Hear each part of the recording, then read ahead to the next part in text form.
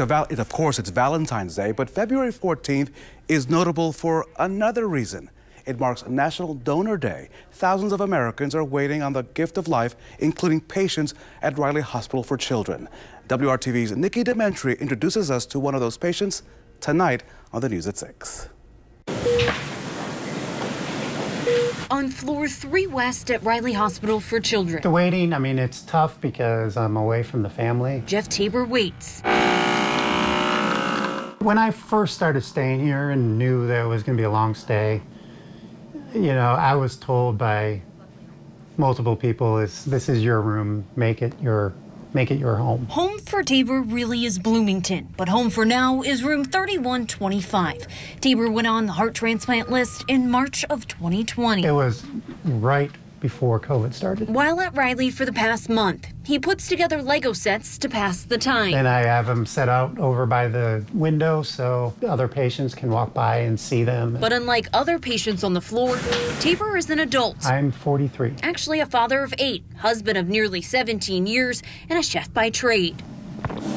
Because I was born with a congenital heart disease um, defect, and um, I've been treated here through all my childhood. Congenital heart defect, or CHD, is the most common birth defect in the United States. Tabor underwent several major surgeries, all with Riley, while he was under 18 years old. I was stable and able to pretty much live a normal childhood.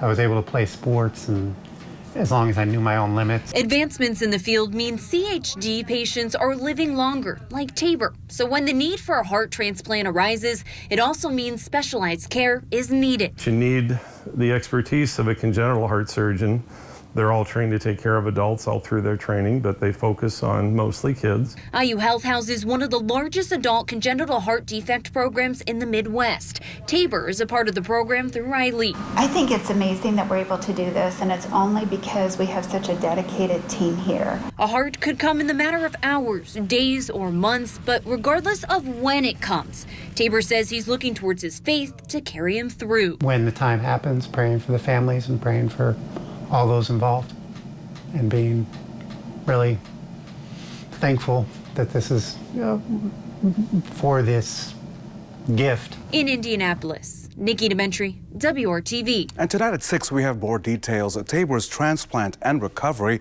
will happen at Riley, but afterwards, his follow-up care will transfer over to IU Health Methodist. Since 2007, the heart transplant team at Riley and Methodist, they've worked together on 17 heart transplants in adult patients.